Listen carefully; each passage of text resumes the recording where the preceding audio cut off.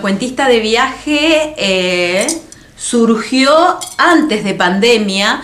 Eh, con Marisa, bueno, ya veníamos realizando otros proyectos y bueno, se nos ocurrió, digamos, esto de, armar un grupo y de empezar a salir y visitar las escuelas, era la idea.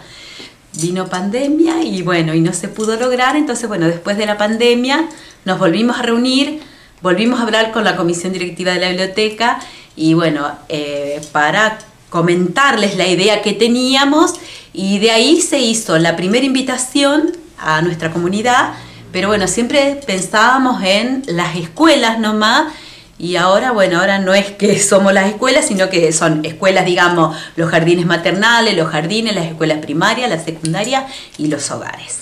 Marisa, ¿quiénes integran este grupo de cuentistas? Bueno, hay varias personas desde que comenzamos el año pasado en mayo en la primera convocatoria fuimos 16 y bueno, algunos van bajando, algunos van quedando por un tiempo, en este momento somos 13, pero, pero bueno, con tres grupos re lindo, el primer grupo que va a niños, vamos al nivel inicial y hasta quinto grado de las escuelas, el segundo grupo que es de adolescentes, que vamos a sexto y séptimo, las escuelas secundarias y las nocturnas, que todavía no fuimos, pero ya eh, les mandamos invitación, y después el grupo de los abuelos que vamos a todos los hogares. ¿Está abierta la, la invitación para gente que se quiera sumar? Sí, sí, sí, este es un proyecto abierto, es un proyecto, digamos, que cuando se quieran sumar, bienvenido sea. No hay que tener ni miedo ni vergüenza, es animarnos, es disfrutar lo que hacemos porque es lo que después transmitimos, digamos, tanto a los niños como en los hogares. Eh, así que bueno, los esperamos. Eh, tampoco son muchas las reuniones o las veces que nos, que nos reunimos, digamos, para armar. Pero bueno, es un, es un proyecto, ya vuelvo a repetir, que está abierto. Eh, así que quien se quiera sumar, en cualquier momento lo puede Aunque hacer. sea al principio para ver, para ver cómo es, eh, cómo nos manejamos, cómo estamos en la escuela. Pero la verdad que nosotros más que felicidad no tenemos porque fue un, un, proyecto como soñado que realmente superó nuestras expectativas y estamos felices. Contanos, Marisa, cómo es una jornada o cómo es ese, ese, instante que ustedes van a la escuela. Primero, cómo se gestiona desde la escuela y cómo, y cómo es ese, ese momento que ustedes pasan allí. Bueno, nosotros mandamos invitaciones, suponete a todos los niveles iniciales, y ahí entonces nos mandan el día, acordamos, somos varias personas, y bueno, eh, previamente seleccionamos los cuentos, las canciones, nos preparamos, y después arrancamos, y ahí es un momento de placer, con los chicos jugamos, con los adultos bailamos y cantamos, y bueno, y con los adolescentes en particular, conmigo, fue como un desafío. Y la verdad que nos escuchan con tanto respeto, con tanto cariño, que, que más que palabras de agradecimiento a todas las instituciones que nos convocan. Cari, bueno, vos estás rodeada de libros casi todo el día. A veces parece que no existe literatura para gente adulta o que tiene que ver con cuentos. ¿Cuál, cuál es la sensación que vos tenés cuando se presentan ante adolescentes o adultos y escuchan estos cuentos?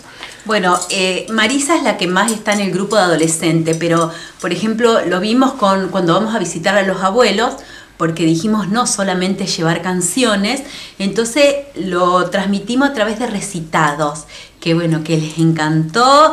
Eh, y otra cosa, eh, esos recitados no es algo que nosotros buscamos, porque bueno, como somos un grupo, entre todos los elegimos, vamos opinando, nos vamos fijando. Eh, pero bueno, les encanta porque es algo diferente o es algo que hace tiempo que no se escuchaba. Cuando le decimos, bueno, ahora les vamos a recitar o les vamos a decir una poesía.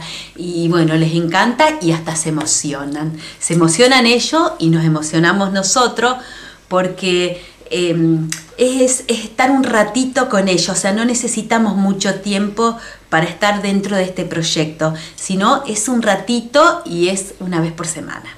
Bueno, ¿cuál es eh, el próximo destino de cuentistas de viaje? ¿Ya tienen estipulado a dónde van a ir? Eh, los abuelos generalmente es una vez a la semana en los hogares y ahora hoy arrancamos las invitaciones para los cuarto y quinto grados de todas las escuelas de San Carlos Centro, San Carlos Sur y San, y San Carlos Norte. Y bueno, y el secundario que todavía no nos ha llamado también eh, pueden invitarnos, fuimos algunos años de todas las escuelas secundarias y nos quedan las nocturnas y bueno, y los maternos. Así que todavía tenemos actividad para octubre y noviembre. Eh, bueno, felices de, poder compartir con, con, toda esta gente lo que es el amor y la pasión por la lectura y bueno, y pasar con ellos lindos momentos. Bueno, Cari, aprovechamos esta oportunidad para que recuerdes todos aquellos que se quieren asociar a la biblioteca cómo tienen que hacer y también que, bueno, tienen eh, stock de libros para todas las edades. Sí, bueno, la biblioteca está abierta de lunes a viernes, por la mañana de 9 a 11 y 30 y por la tarde de 14 y 30 a 19 horas. Se acercan acá, completan su solicitud de ingreso. La solicitud es un grupo familiar, son eh, cinco personas por cada, por cada, digamos, solicitud y después tienen de lo que busquen para llevarse. Es más, aparte del libro, historieta, eh, cuando hablamos de libro, bueno, las novelas románticas de suspenso, hechos reales, autoayuda, eh, historia argentina. Bueno, también recordarles que nos han llegado las semillas, tenemos una biblioteca de semillas, así que también pueden venir y llevarse esa semilla para hacer su huerta propia.